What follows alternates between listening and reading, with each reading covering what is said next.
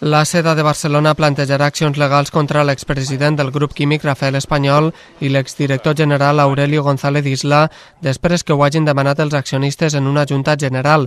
Acusen els antics gestors d'operacions dubtoses que han obligat la companyia a fer una provisió de 84 milions d'euros. Determinades operacions eh, de ventes que eh, els auditors de l'empresa en un informe posterior s'han ratificat.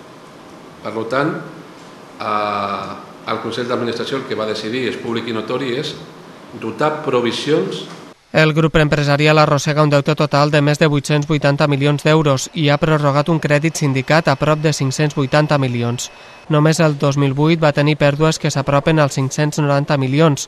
La direcció pensa fer front a la situació a través d'un pacte amb els bancs per reestructurar una part del deute i una ampliació de capital de 150 milions d'euros. Jo el que estic proposant és que anem a les fàbriques i fem fàbriques per competir en el mercat en el que estem, que és el de commodities anem a reduir costos, anem a reduir estructura, anem a reduir cost d'energia, de logística i anem a emergir sinergies. Les mesures formen part d'un pla de reestructuració que inclou l'ero temporal a la fàbrica del Prat, on treballen més de 230 persones.